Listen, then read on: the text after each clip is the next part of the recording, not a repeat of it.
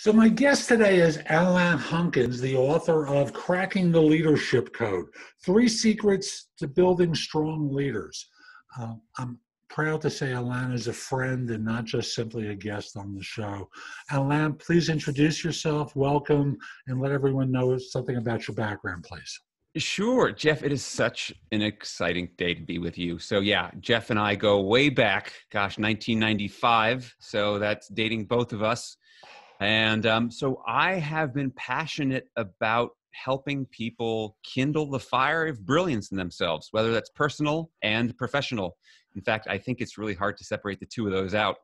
And I've been working in organizations since 1997. I've worked with 42 of the Fortune 100 companies and have worked with leaders, over 2,000 groups of leaders in 25 countries.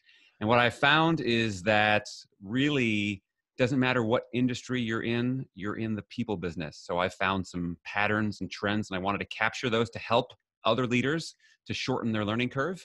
And all of those notes have now made it into this book, Cracking the Leadership Code. And I'm really excited to talk about how we all can become better leaders and better people. And when I say leaders, by the way, Jeff, I'm not talking about a job title. I'm really talking about a state of being. In fact, I think anytime that any of us are trying to get someone else to do something in some way, that takes leadership. And so we all play that role in some way every day. And folks, if you're watching on camera, Alain had a small procedure done last week. He's got a band-aid on. Show some mercy, please. Nothing in the in the comments area, okay? and just so you know, I've already done it for you, okay? There we go. So uh, let's look at, at new leaders, people who are stepping up into leaders into leadership. What keeps an aspiring leader stuck? How do they oh. get their feet in the in, in the quicksand, and how do we get them out of there? Yeah, so interesting research on this. I've been studying the research, and it turns out that only about 23% of people believe their leaders lead well, which is a pretty shockingly low number, which has been that low for decades now. So clearly, it's a lot easier said than done. What keeps new leaders stuck more than anything else is this mindset it's that we think we need to fix something that when we step into this role we have to be this fixer. In fact i'll tell you the story about this guy matt that i met. Matt is a district manager for a national fast food franchise. Now i met matt. The company had 100 district managers and matt was ranked number one out of all 100 and so i asked him if he'd always been a really high performer. And he said gosh no. When i started i was like 84th and I was down there towards the bottom for a while. I said, So what changed? And he said, When I started, I had this idea that my job was to be the fixer, right? I had been, I had been promoted. I was now a leader. I was the district manager. And so every day we would get this printout of key metrics called the hot list. And the first thing I do is look at the daily hot list and see what was in red, not measuring up. And I'd go into firefighting problem solving mode and I would hop in my car and I'd drive hustling from store to store and I'd get the managers and I'd show them the hot list and tell them what was wrong and tell them what they should do and just tell them to keep going on that. And I did that and I was driving around, I was working really hard and I was struggling and I was stuck. And he's and Matt said, It took me years, but I realized that people don't want a fixer, is that people actually want a leader. And so Matt changed his approach. And what he says now is when he goes into a store, the first thing he does with the store manager is he asks them about themselves, about their lives, about the person outside of work, and builds relationship first. Then, instead of just like, you got to do this, fix this, do this, he shares the data of the hot list, but he doesn't say, this is what you should do. He says, here's the data. What do you think we should do? So he asks first and he listens mm-hmm. to them. And then together they create this strategy. And so, what Matt really modeled is what I've come to understand is these three secrets of building strong leaders, which are connection, right? Building relationship first, communication, leading by listening, and then collaboration, co creating solutions together. And I think where so many leaders are stuck, they still hold on to this industrial age, early 20th century mindset that we are in charge, that we have to command and control. And the world has changed so much since the beginning of the industrial age. So if we're basically operating out of this 20th century, early 20th century playbook, we are destined to struggle. So I think the number one thing is to shift the mindset, stop being a fixer, move into being a leader who sees themselves much more as a facilitator of drawing out the talents that are already inherent inside people and finding ways to bring that out and move those resources to where they need to be in order to be successful. And I think he gave a great example in the match story of how simple it can be. And there's also the times where it's less simple, where the staff is already lost uh, and they're struggling. And maybe you've taken over the failing group. You know, they've already got that label. Everyone knows that they're the problem people.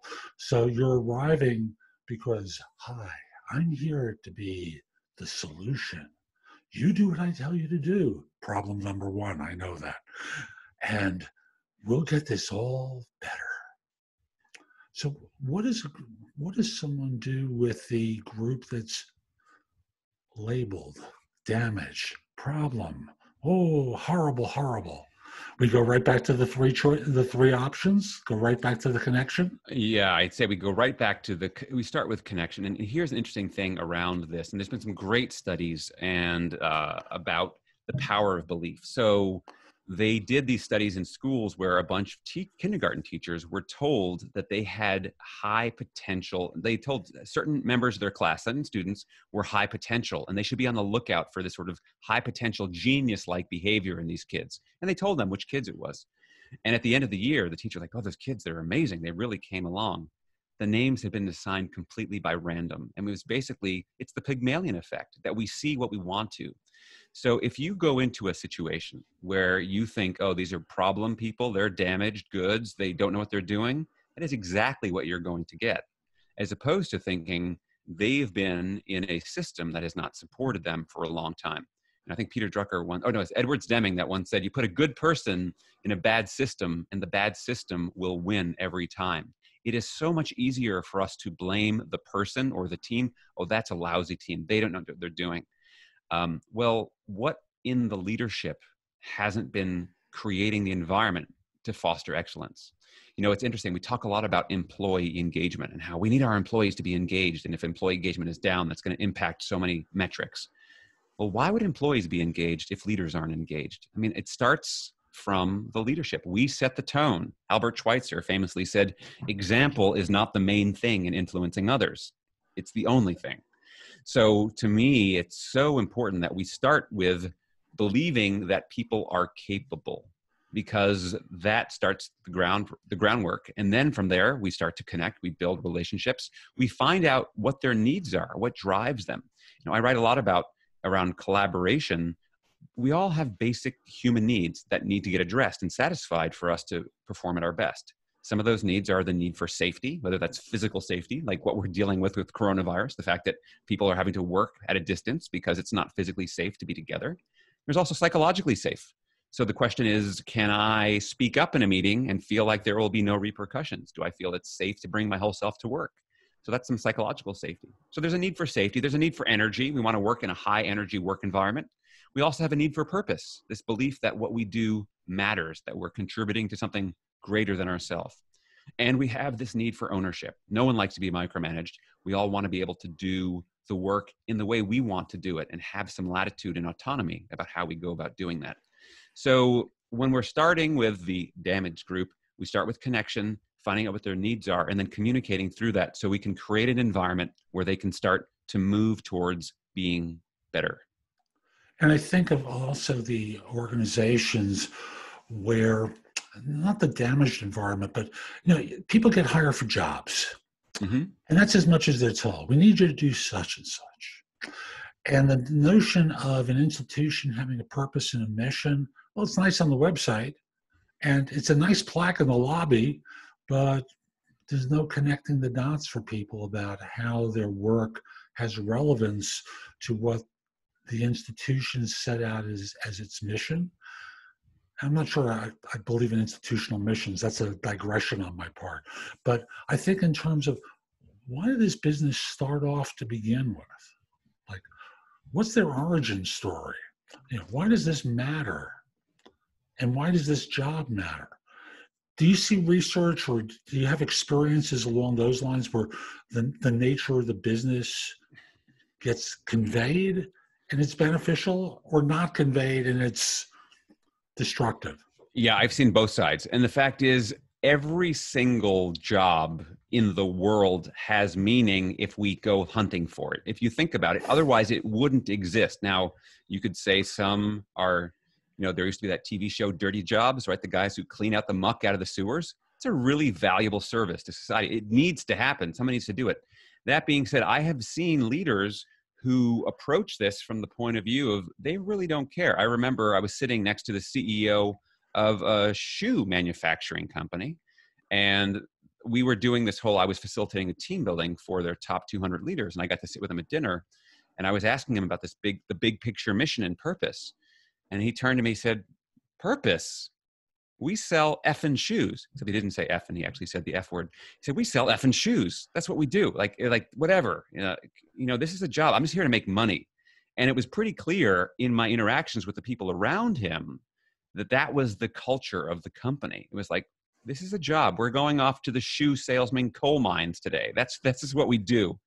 Whereas I'll tell you another example. I was working with a, a manufacturing company that makes medical devices, and I was tour. I write about this story in the book. Actually, there's a woman, and I got to tour the factory across from the corporate office, and she was doing this amazing work that was both manual labor manufacturing, but also very high tech and her name was April. And I said, God, she got took a break. Said, April, it's it's amazing the work that you're doing.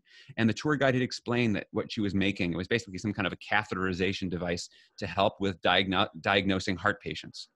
And I said, That's amazing work that you're doing. Can you explain exactly what you're doing here? And I thought she was going to go into some technical explanation of, well, we take this piece and we add this, this. And she turned to me, she said, Well, I help pe- save people's lives. What do you do? right? So mm-hmm. April's response, though, Jeff, was no accident because what that company does is every quarter they have a company wide town hall and they bring in some of the patients that have been served by their products and they share how their lives have been changed. So people have a direct link, a line of sight to see how what I'm doing makes an, a difference.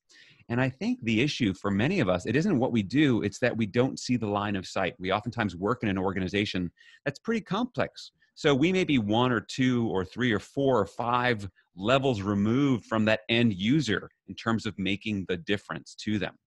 And we don't even realize the difference that we're making. So it goes on and it has a lot to do, as you said before, with the origin story. And do we continue to tell these stories and not just once or twice, but we have to remind ourselves again and again. Again, I know you've been in a married relationship for a while. I don't think Sharon, your wife, would be, oh, well, I said I love you on our wedding day, Jeff. I think that's enough. I, I, mean, it hasn't changed, right? I mean, the fact is we need to say these same things again and again. So reminding people of the why we do what we do is something that we should be revisiting on a frequent basis.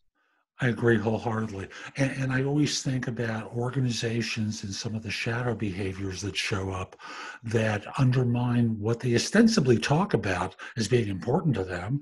And, you know, when you have leaders who uh, are subverting the various intentions that they proclaim are important, it's fascinating to point out the incongruences between what they say and what they do, right? Totally, totally. So, interesting thing. So, generally, leaders and reality generally are mirror op- mirror images of each other. So the way leaders generally think about stuff is like, oh, I say this, it's really important. This is what I do, not as important. And then what we measure, not nearly as important. Whereas from the flip side, the way reality or followers take it all, what are you measuring? Because I'll figure out how to give you the measurements you want. Because and if I have to game the system, I will. And then I follow your behavior. And then, oh, did you say something? I forgot what was that. Right. So we flip it. And so you talk about these shadow behaviors and the discongruencies i think one of the biggest issues particularly because leaders say oh i you know people are our greatest resource or our greatest asset. I mean we talk about this. I think one of the biggest things that i see leaders struggling with time and time again especially in this day and age is let's just call it what it is it's impatience right? The fact is that to build connection with other human beings takes time and showing empathy, and my definition for empathy is showing people that you understand them and care how they feel, isn't just some item you can check off of a to do list. Now, yeah, you can send out emails at the speed of light in our digital age, information can travel that quickly, but human relationships take time. And showing empathy means showing patience. And our organizations are giving this this message like you've got results to deliver. We got to drive for results. In fact i'm sure you've seen many organizations driving for results is considered a core leadership competency and i get that. You know we can't just sit around here. We're not in the group therapy business like hey is everyone feeling okay about everything? That's not why we're in business and leadership wisdom is knowing when do you go fast and when do you go slow because yes you want to drive for results but driving for results shouldn't come at the cost of driving over the people who are trying to work with you to deliver those results. It's funny, you know, we've been talking about leadership, and then there's management. Mm-hmm. And the management people, more often than not, are the ones who are promoted because they were the most competent person at that time. They've gotten their rewards, and they're measured by task and task delivery. So it's no wonder that that's what they tend to focus on because that's how they got to where they are. And yet, leaders are different. It's not about motivation at that point, it's about inspiration at that point. And that involves heart space more than it is today we're going to produce 2,412 widgets. Yeah. That's going to be up two widgets from last week. You think you can do it? Yeah. And, and we're laughing about this, but we've all been in environments where this is how it's done. Yeah. Yeah. And it's crazy. Yeah. So it's interesting because people say, oh, well, you know, I'm not a leader, I'm a manager. Well, if you are influencing other people and their experience of work, you are a leader. You may be doing a very bad job at it, but you are leading. Again, Gallup has probably got the most famous research on this. You know, they spent over 25 years interviewing over a million employees around the world, including 80,000 managers. And they wanted to find what made the most successful employees successful. And by success, they measured it by higher levels of productivity, higher levels of profitability, lower levels of turnover, and higher levels of customer satisfaction and loyalty. And they found the number one factor that created the most successful employee was what was their relationship with their immediate supervisor. So whether you call that person a manager or a leader, it's the immediate supervisor. That person sets the tone. They found that 70% of the difference between lousy, good, and great culture is directly attributed to that immediate manager or leader right there. And so, you know, I used to joke, I used to say, I got into leadership because I thought that leaders make a difference. And what I found over, over 20 years of research and practice is that leaders don't make a difference leaders are the difference. And so you if you're in that role congratulations because that responsibility it's been it's like it's that target on your back. And you have to know that whether or not you know it's there it's there. The responsibility is with you and you can either ignore it in which case you're now creating a culture by default or you can embrace it and create a culture by design and be intentional about it. And uh, when Alain mentioned the target on the back, um, in his TEDx talk, he tells he tells a to me very funny story about coming off of a weekend where he was stepping into leadership and he received a gift of a T-shirt uh, from someone who uh, on the on the front it said leader and on the back he was encouraged to turn it around, and there it was, the bullseye, and um, was was reminded that you're always the target. It's a question of what kind of target you want to be. Yeah, exactly, exactly. Thank you for that mentorish moment of wisdom, Jeff, because you you inspired that story. Um, yeah, and with that, I just want to point out that there are other things that people can be doing better to, to model the connection, the collaboration, and what's the third C? Communication. Communication. How can they communicate better?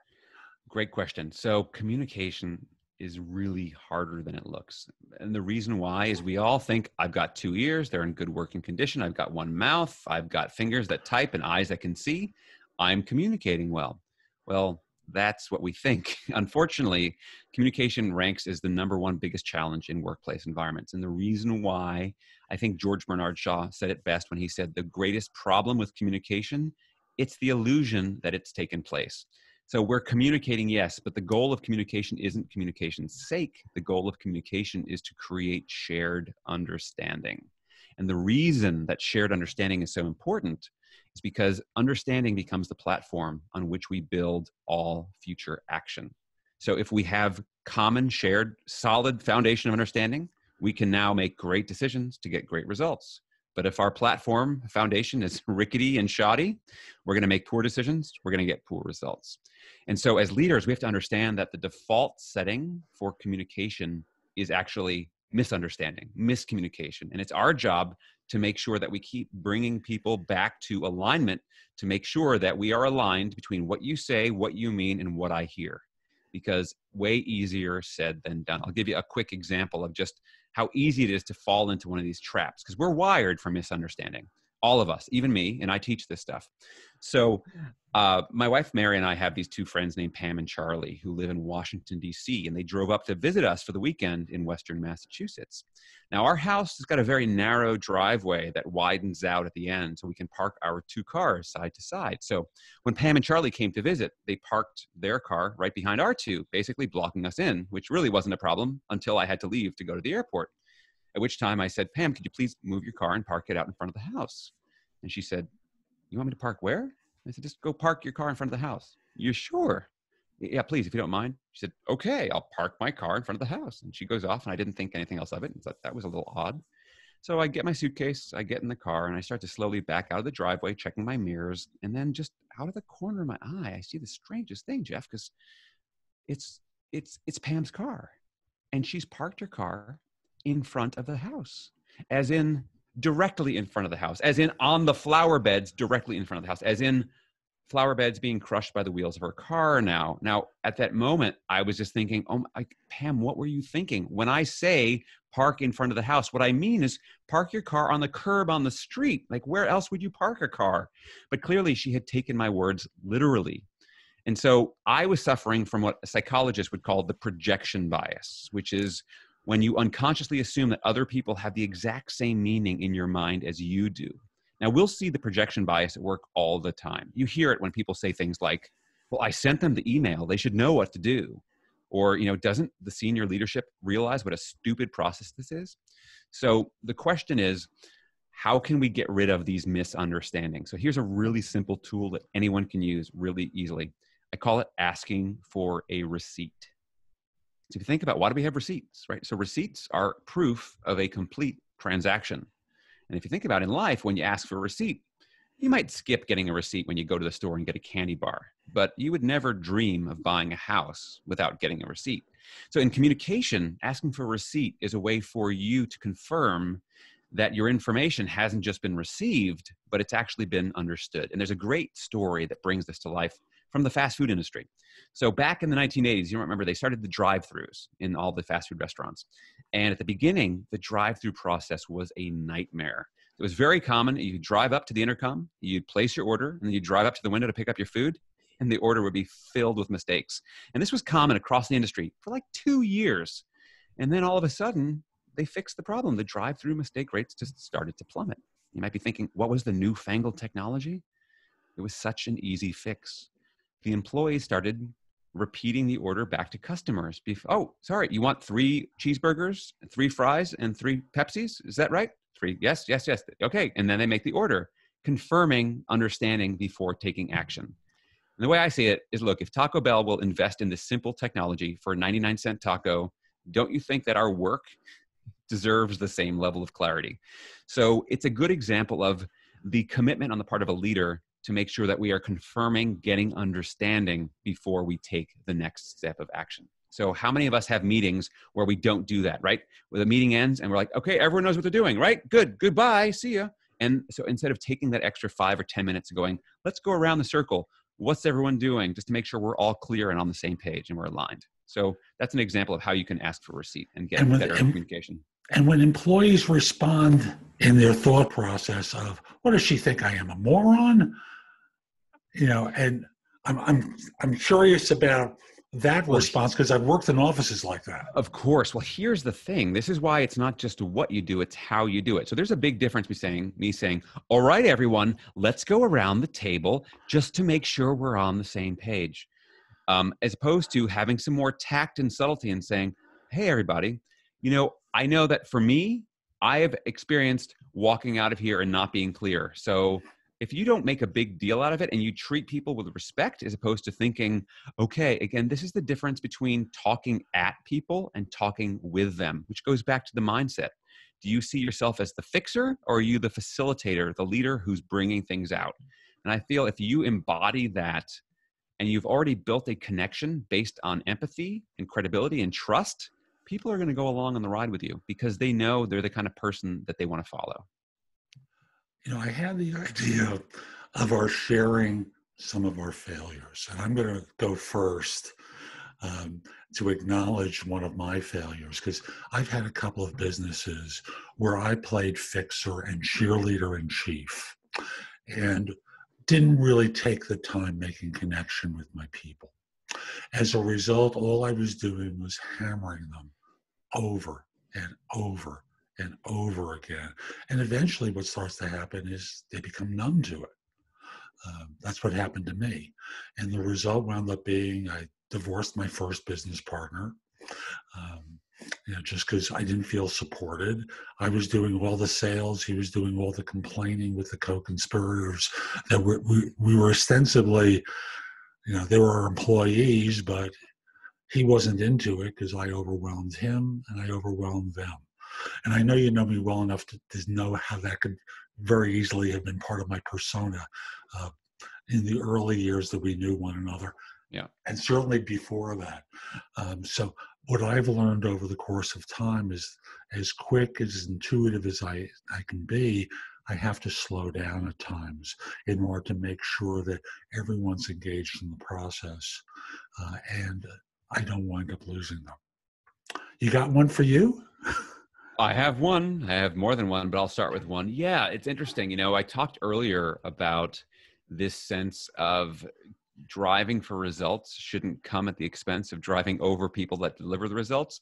And I could have been talking to the mirror at the time because I'm thinking back early in my career, I was oftentimes, I was facilitating for large groups sometimes where I would be facilitating for five, six hundred people or even over a thousand. And when I would do this, I would have these teams of support facilitators, sometimes up to 40 or 50 people. And I was basically in charge. I was leading that.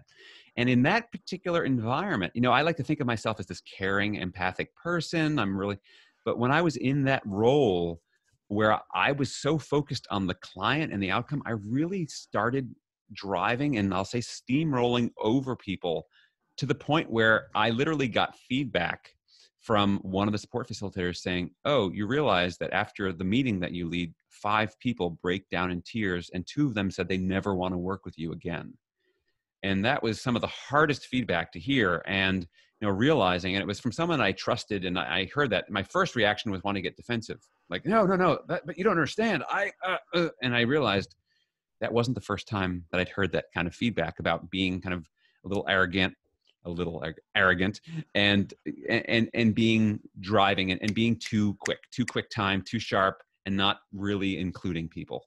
And i took that feedback to heart and I had to step back and apologize. And I really shifted my approach when I was working with a team to the point where I was, you know, this whole sense of building connection first.